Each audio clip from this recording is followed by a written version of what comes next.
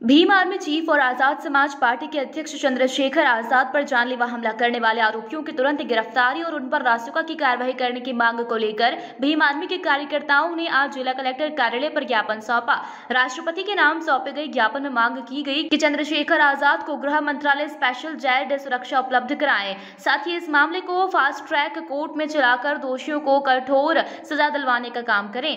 बताते चले की बीती कल उत्तर प्रदेश के सहारनपुर देवबंद में कुछ अज्ञात हमलावरों ने भीम आर्मी चीफ चंद्रशेखर आज़ाद पर चार राउंड गोली चलाकर जानलेवा हमला किया था।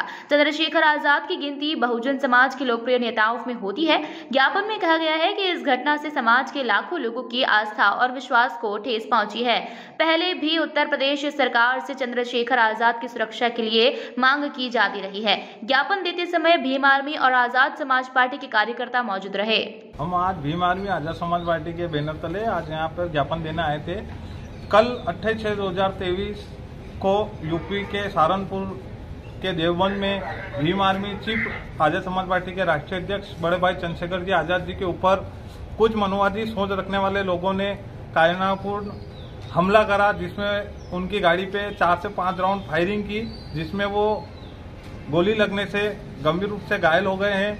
हम राष्ट्रपति महोदय को हमारी मांग का जो मांग पत्र है, उसके तहत यहाँ पे कलेक्टर महोदय के यहाँ पे ज्ञापन देने आए हैं कि हमारी मांग है कि हमारे बड़े भाई चंद्रशेखर आज़ाद जी को गृह मंत्रालय द्वारा जेट प्लस सुरक्षा दी जाए और उनके जो आरोपी है, हमले के आरोपी, उनके ऊपर रासुका की कार्रवाई कर तुरंत उन लोगों को फास्ट कोर्ट में केस चलाकर उनको सजा दिलाई जाए।